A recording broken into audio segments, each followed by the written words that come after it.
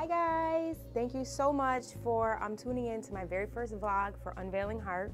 I'm so excited to be on this new journey that God has me on and I'm so honored that you guys are joining along with me. It's really, really, really exciting. Um, with these vlogs and these videos that I'm going to be um, doing for these next couple of weeks and next couple of months, I really just want to be able to share what God has put in my heart, some of my experiences, um, and just really being authentic with you guys, being real in hopes to inspire, encourage, and um, bring hope to women, men, everyone, all over the world. So thank you for joining me. Um, Today's topic, I just want to share something that I've um, recently and still am in transition and going through it. God is really dealing with me with is um, stepping out on faith and overcoming fear and self-doubt. Um, is something that everyone all over the world really, really deals with, um, especially when God calls you out of your comfort zone into the unknown and um, you know, it, it can be really scary when you don't have the who's, what's, ins, outs, and all the details. And normally that's just how God works. He calls you out, doesn't give you all the details. He just tells you to move, and then he just kind of leaves it leaves it there. But he's faithful to come through um, every single time. So I just got a few notes here. I'm going to be really, really brief, but I hope that um, by the end of this video you leave encouraged, inspired, and full of bravery and boldness. So um, let's get right in. So as you know, um, we all have a God-given purpose, and when we feel that unction and that that stirring up inside like god i know that you made me for more and you feel like the timing is now for you to just step out on faith you know it can be very very scary especially when it's something like i said outside of your comfort zone. But god has placed something great inside of us a purpose a calling all that sounds good right? But the reality of it, reality of it is is there is an enemy.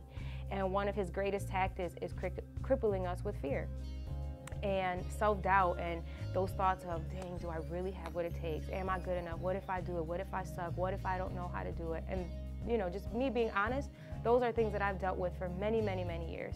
Um, until recently where i'm just like you know what lord? I'm ready to step out because i know that you got me.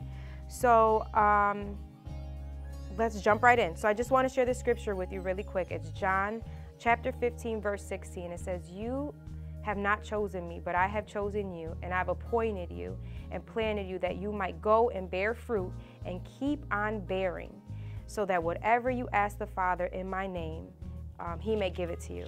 And then when you go to um, chapter 14, verse 26, it says here that I will send you the Holy Spirit, and then he will teach you all things. So even when you feel like I don't have the slightest clue what I'm doing, but you know that God is calling you to jump off the cliff and take a leap of faith, know that He's left the Holy Spirit and He will teach you all things in that moment. You just have to just take that leap of faith.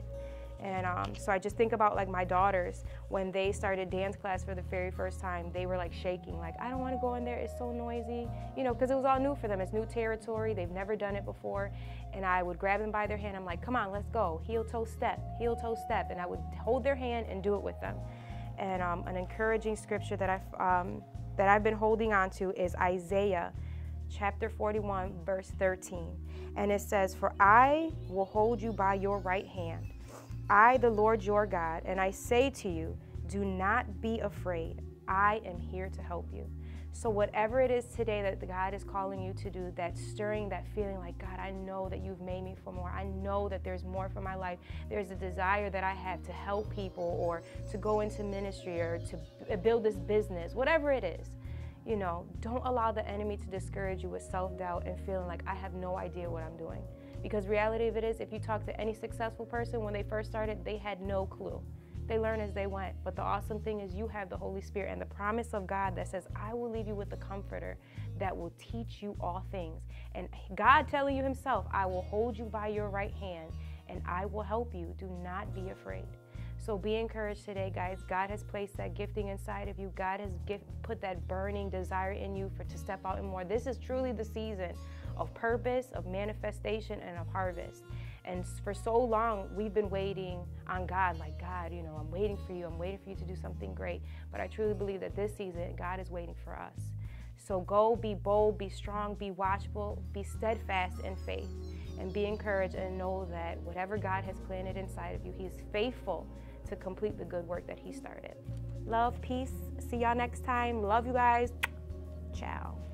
My prayer is that you are encouraged, that you are inspired. For more videos, for more blogs, for more testimonials, please visit the website www.unveilingheart.com.